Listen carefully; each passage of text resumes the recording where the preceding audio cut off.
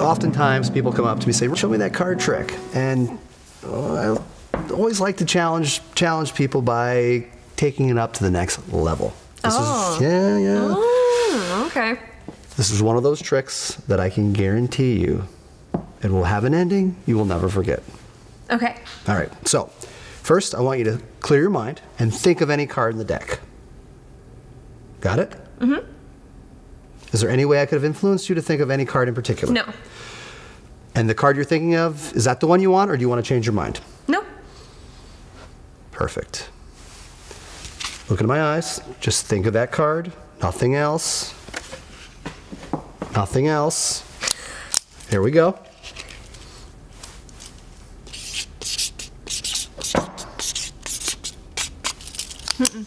Mm-hmm.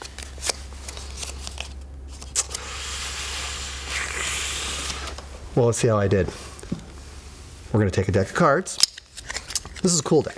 It has backs from countries all over the world Switzerland, Taiwan, Thailand, United States, United Kingdom, Norway, Russia, blah, blah, blah, blah, blah, blah, blah. How about South Korea? Yeah.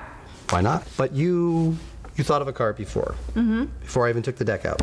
In your mind, I gave you a chance to change your mind. What is the card? Four of clubs. Let's take it out. Let's have a look. Four of clubs. When you see it, pull it out. Mm-hmm. There, there it is. Okay. Look at the back. Look at the country you picked. Got it. Got it. All right. Lose it back in the deck. There. Great. And that's it. The trick's over.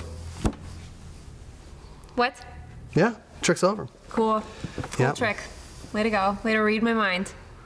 Yeah. Well, what if I did read your mind? What if I knew the future? Would that would be something, wouldn't it? I suppose. Yeah. Okay, so let's go back in time. You thought of a card. Uh-huh. I wrote something down.